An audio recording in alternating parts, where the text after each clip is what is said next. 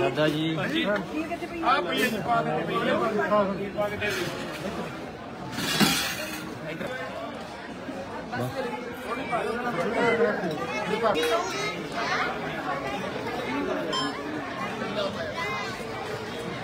ਇਹ ਤਸਵੀਰਾਂ ਗਿੱਦੜਬਾਹਾ ਦੇ ਪਿੰਡ ਘੱਗਾ ਦੀਆਂ ਨੇ ਜਿੱਥੇ ਗੁਰਦੁਆਰਾ ਸਾਹਿਬ ਦੇ ਵਿੱਚ ਸ੍ਰੀ ਗੁਰੂ ਨਾਨਕ ਦੇਵ ਜੀ ਦੇ ਪ੍ਰਕਾਸ਼ ਪੁਰਬ ਮੌਕੇ ਅਖੰਡ ਪਾਠ ਸਾਹਿਬ ਦੇ ਭੋਗ ਪਾਏ ਗਏ ਨੇ। ਉਸ ਤੋਂ ਬਾਅਦ ਉਪਰੰਤ ਲੰਗਰ ਵਰਤਾਇਆ ਗਿਆ ਹੈ ਤੇ ਇਸ ਲੰਗਰ ਦੇ ਵਿੱਚ ਗਿੱਦੜਬਾਹਾ ਤੋਂ ਕਾਂਗਰਸ ਦੀ ਉਮੀਦਵਾਰ ਅਮਰਤਾ ਵੜਿੰਗ ਸੰਗਤ ਨੂੰ ਲੰਗਰ ਛਕਾਉਂਦੀ ਹੋਈ ਨਜ਼ਰ ਆ ਰਹੀ ਹੈ।